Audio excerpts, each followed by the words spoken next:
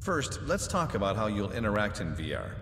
Have a look at your motion controllers. They should look like a pair of hands. Go ahead and wave them around.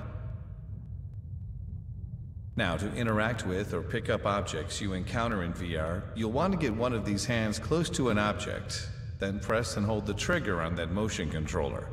This will grasp the object. To release the object, simply release the trigger. Some interactive objects are a part of the environment, like doors, drawers, and switches. Keep a lookout for them as you explore. On the table in front of you, you'll see several items you can pick up. Go ahead and practice picking up and setting down those items now. Good. Next, we'll show you how to navigate around large virtual spaces using your teleporter.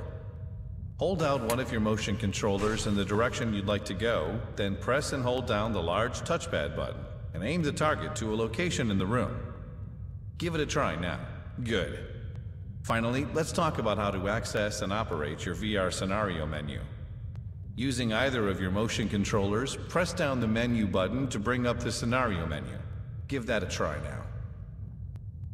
Okay, that wraps up our introduction to how to get around in VR. Feel free to stick around and practice. When you're ready, open your scenario menu and select Launch Training Exercise to put these new skills to the test.